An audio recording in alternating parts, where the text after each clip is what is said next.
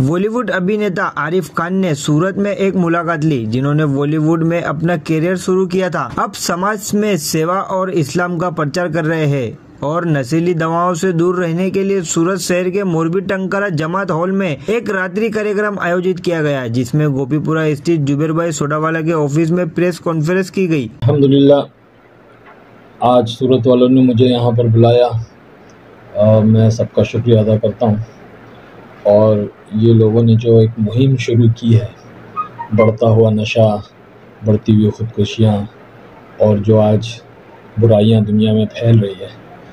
तो अल्हम्दुलिल्लाह सूरत वालों ने इसको एक मुहिम बनाई है। इसके इसके ख़िलाफ़ जो है ये मेहनत कर रहे हैं ताकि जो है आजकल की नौजवान पीढ़ियाँ, नौजवान बच्चे और बच्चियाँ इससे महफूज रहें। इसी ताल्लुक़ से मुझे यहाँ बुलाया गया है।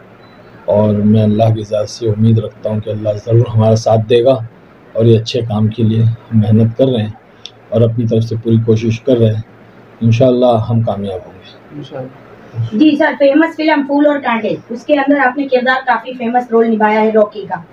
उसके बाद से अभी आप इस रूप के अंदर लाइफ में यू टर्न कैसे आया? और आज की युवा पीढ़ी जो नशे की तरफ़ जा रही है उनके लिए क्या मैसेज देना चाहोगे? एक्चुअली वो फूल और कांटे में मैं और अजय देवगन दोनों की पहली फ़िल्म थी। हम दोनों इंट्रोड्यूस हुए थे। लेकिन इसको मैं बदकिस्मती कहूँ या खुशकिस्मती कहूँ, मुझे समझ में नहीं आता है कि मुझे जो है वो खलनायक का रोल दिया गया था। और वो रोल जो था मेरा, अगर आप लोगों ने मूवी देखी होगी तो आपको याद होगा, मैं ड्रग्स सेल करता हूँ। मैं ख़ुद जो है वो ड्रग्स का बिज़नेस करता हूँ उसके अंदर कॉलेज के अंदर।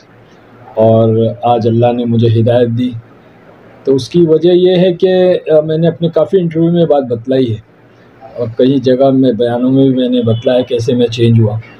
खैर अल्लाह पाक ने मुझे वो चीज़ अता फ़रमाई जो सुकून है, कल्ब जिसको कहते हैं सुकून, दिल का सुकून, वो मुझे इस रास्ते में मिला, अल्लाह की राह में मिला, दीन में मिला, तबलीग में मिला।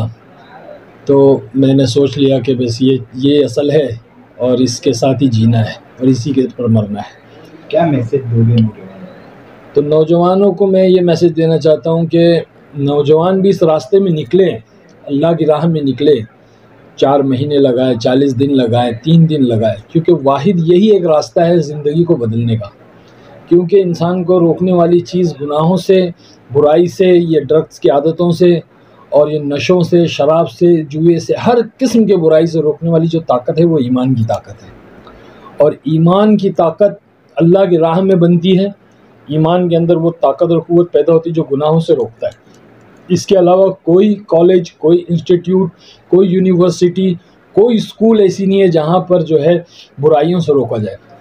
बल्कि हम देख रहे हैं कि आज के कॉलेज के युवा और बच्चे, बच्चियाँ सारे जो है वो ड्रग्स के नशों में और बुरी बुरी आदतों में मुबतला हो रहे हैं। तो कहीं पे ये नहीं सिखाया जाता है कि किस तरह से गुनाहों से बचना है।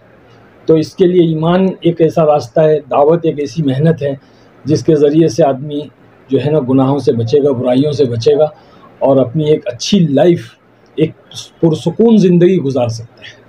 तो मेरी यही नौजवानों से गुजारिश है कि इस मेहनत के अंदर लगें, दावत की मेहनत में लगे, दीन की मेहनत में लगे, ईमान को बनाएँ, आमाल को बनाएँ और इस दुनिया से जाएँ, वरना जो है बहुत मुश्किल है।